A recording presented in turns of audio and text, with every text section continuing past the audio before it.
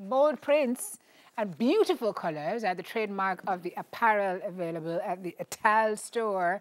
Its latest collection celebrates high fashion and modern silhouettes. And who better to tell us about it than the boss, designer, creative director, boss, head cook, bottle washer, Deean Fontaine joining us this morning. Howdy. Howdy, how are you? I'm very well. Can I go back like 15 years? Okay.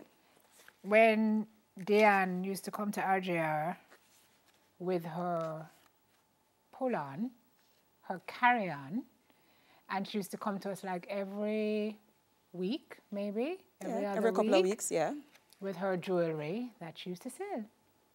Um, you were a lawyer at the time, correct? Um, but you were selling your jewelry on the side, and then you left Jamaica, and you went to Africa to take up a position there in law, and um, Etal was born before then, but it was born, born when you went to foreign. Tell me about the catalyst that, that led you to this entity, because before it was just jewelry and art. Yes. Now you're into the clothing big time and it's taken off. Hmm. Thank you. So, I mean, Simone, as you know, I mean, you know, I have a passion for anything fashionable. I'm a creator. And so I remember when I, you know, and I love to, I think I'm, by heart, I just want to sell. I mm -hmm. want to make people happy. I want to I want to trade. So I, yeah, I used to come to RJR and other, I think, you know, um, corporations, institutions in Jamaica, and it was, it, it, was interesting then because, like you said, I had my, my yeah, my yes. carry-on, my yes. yes, that I would, I would take stuff around, and I think just the, the energy that I'd get and the reception from people made me feel like I, it was a passion, and mm -hmm. I felt like it was a passion that was making an impact. And the relationships you were able to build. And also. Mm -hmm. And so when I moved, when I had that real opportunity to move to Africa and I was there and I, initially it wasn't like something I thought of, but I remember I was sitting with my, with my housekeeper and she had, she had um, there was a problem with a, a dress I'd bought. And I was kind of just reprimanding her to say, man, listen, how did you wash it and cause this problem? And she said, but madam, if you, if you were making your own clothes, you wouldn't have this issue. You wouldn't feel so, you know, so connected to something that was soiled or spoiled. And when she left, I called her back. I was like, what did you just say? Mm -hmm. And it resonated. And it ser seriously, I mean, it's a strange story, but Etal, in terms of the clothing line, what was actually, yeah, was actually born out of that crazy Where yeah, is she now? dialogue. She's still in Nigeria. Okay.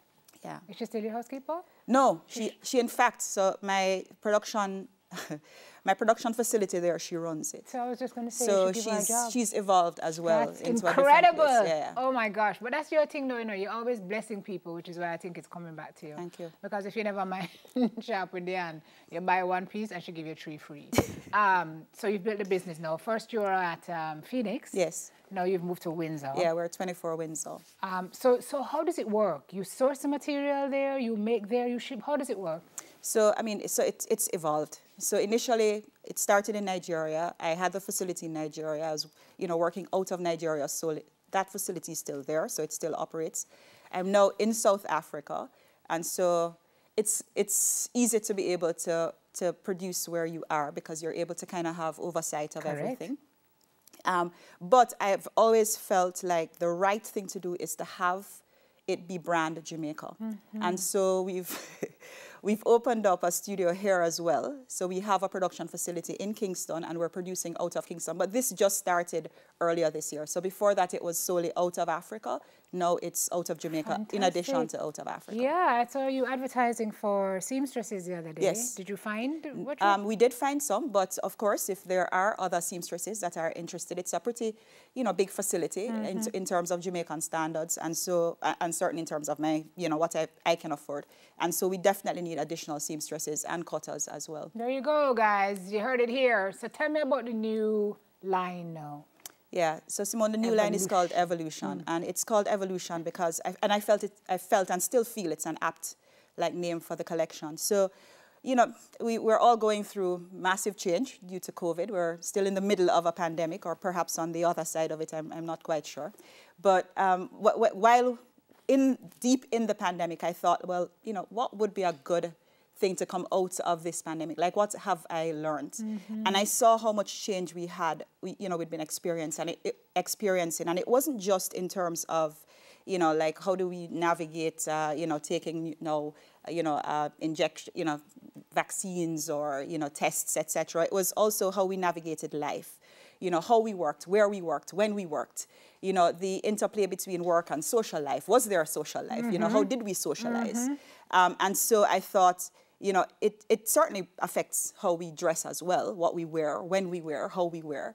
And I thought, well, it would be great to have something that was that was able to kind of intersect both the the work world, which was now for, for many people at home, Yeah. um, and the social world, which you know, which which is was a little bit more fluid because it wasn't necessarily work and play. Um, and so I thought, here's a line that I thought would be able to kind of kind of build a bridge between both. Um, and so it, I felt like I needed clothes that you could wear kind of for both, you know, so you would be able to kind of cross over mm-hmm. from your, you know, your Work to work your world to your social world. So your mm-hmm. day, your evening, your nightlife, it would sort of be that one piece that you could wear and that would transition easily between those different kinds of worlds. And so what I've, what I've told people about this you know evolution which is just change right is you're able to kind of move between so if you buy an etal piece now i feel like it does more than it it kind of could could replace maybe from you maybe replace three 10 years ago.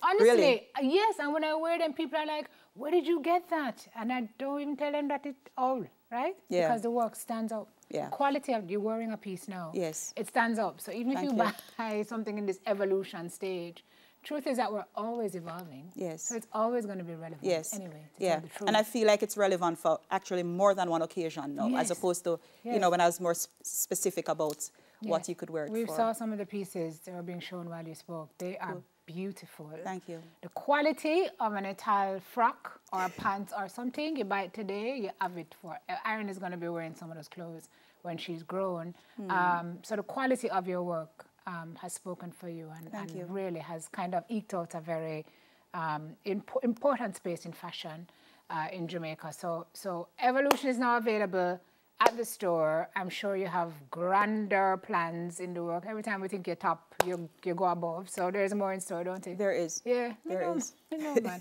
Can you give us a sneak peek, or is it a secret?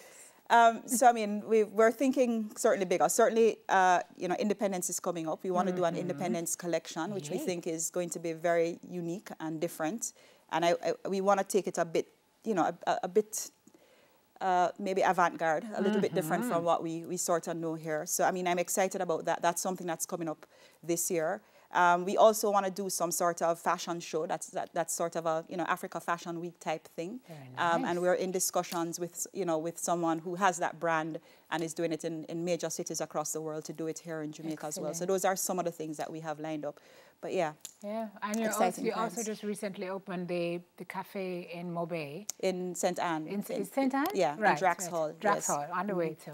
Um, so you're doing really big things, madam, even as you haven't come back home yet. Not- You're not still- quite. You're still residing in Africa, but you're back and forth. Yeah, so I'm in Johannesburg, um, still working. I'm actually working from, from home this week, but I return um, next week. And yeah, so I'm still trying to juggle both worlds. But I think it's worked out to be, in a, I've, I've, I think I've been able to use it expediently.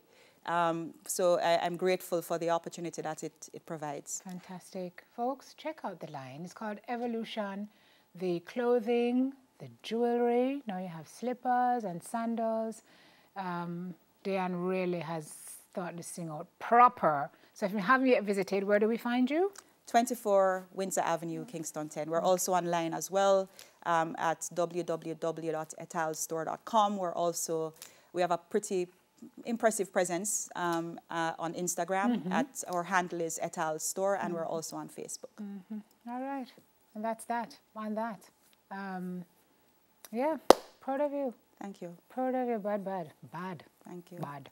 Etal Store's creative director and designer, Diane Fontaine, took a big leap, and here she is living to tell the story of success. So, more to you, um, more success to you. We've got a lot more coming up, something to smile about, um, but we give you something special to smile about next. Thanks, Diane.